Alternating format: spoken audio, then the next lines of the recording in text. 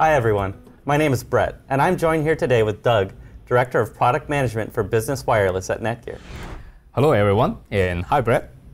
I was hoping, since you're the Wi Fi expert here, you can let us know what's coming up in the Wi Fi world. Of course.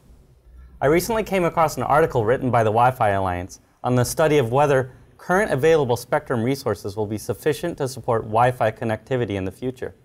The study indicates that by 2020, Wi Fi networks around the world will need access to significantly more spectrum than what is currently available to satisfy expected growth in Wi Fi data traffic.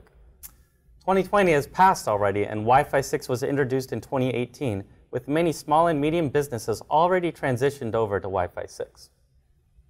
Wi Fi is always evolving. I'm sure there's already the next latest and greatest Wi Fi standard to combat this problem. Can you share a little bit about what's coming next, Doug? Happy to. As you said, the Wi-Fi Alliance predicted the existing available Wi-Fi spectrum capacity to be a challenge back in 2017. Especially with the increasing number of Wi-Fi devices, the growing demand for Wi-Fi connectivity, and recognizing that Wi-Fi as a critical piece of the global telecommunications infrastructure, Wi-Fi 6E was introduced in early 2020. Wi-Fi 6E offers the features and capabilities of Wi-Fi 6, including higher performance, lower latency, and faster data rates, all extended into the 6 gigahertz band. Since Netgear is always innovating, that must mean there's a new Netgear Wi-Fi 6E solution. Is that right? Absolutely correct. We just recently launched the WAX 630E. The WAX 630E is the first business-grade tri-band Wi-Fi 6E cloud-managed access point with ultimate performance and speeds up to 7.8 gigabits per second. With the 630E, Wi-Fi 6E devices that operate on the uncongested 6 gigahertz band can experience drastically improved throughput and lower latency. With WAX 630E extending into the 6 gigahertz band, exactly how much spectrum does it provide? The 630E offers well over 200% more total frequency bandwidth in the 6 gigahertz band compared to the 5 gigahertz.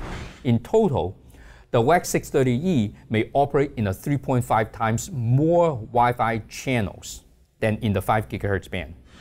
Wider bandwidth, more channels, all mean that Wi-Fi devices will enjoy faster data throughput, less congestion with neighboring Wi-Fi devices, and a significantly reduced lag time with the 630E.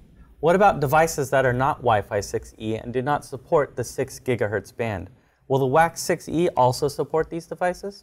Like I mentioned, WAX 630E is backward compatible.